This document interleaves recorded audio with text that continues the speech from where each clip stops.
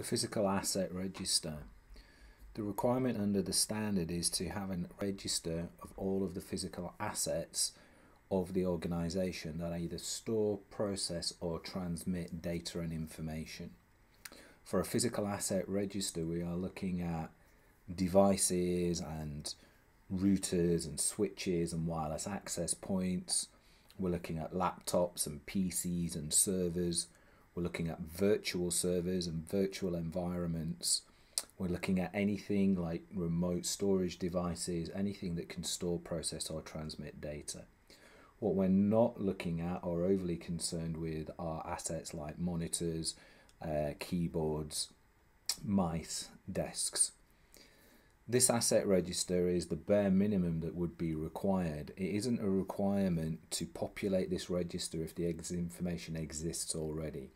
If you already have the information and it exists within a system, an asset management system, some kind of Microsoft or Azure or Google system, then just record somewhere the link to it so that you can evidence that you have a complete list of assets with certain key control information around them.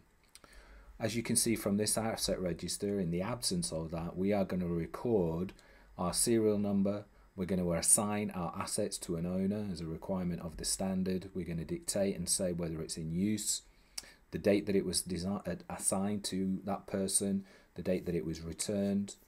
We're going to record a date when it was last checked.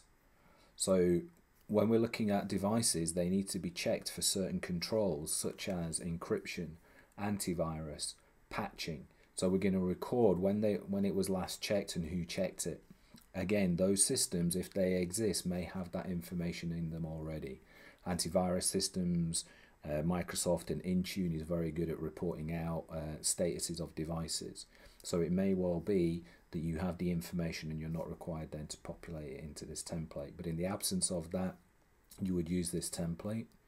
You're going to record when it was checked and who it was checked by, provide a description of what the asset is and what the asset does. So is it an email server? Is it a laptop for a sales presentation? Is it removable storage for backup? What what does that asset do? And then we want to know what data is held on it. We're looking at buckets of data. Uh, is it sales data, CRM data, employee data, payroll data, general email communication data? What data is held on that asset or, or transmitted through it or processed on it? Then we're going to record the importance. Now, what we mean by importance is how important is that asset to your organization, where high is it's fundamentally critical and low is your business could operate without it.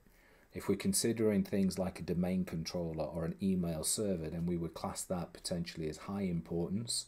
If we had a sales laptop, then we would class that as low importance. Our business could continue to operate with um, without a sales laptop. Then we're going to classify that device based on confidential, internal, or public. Now, the classification is the classification of the highest level of data on that device. If that device has even one piece of confidential data, then the entire device is classified as confidential. We're going to record the location of the asset. Again, just some, it could be um, something very specific or something generic, but we want to know the location of the asset and then we're going to record some notes as appropriate. This is going to be your first pass through as a physical asset register. Understanding the assets is probably one of the most time consuming activities that we see an organization undergo.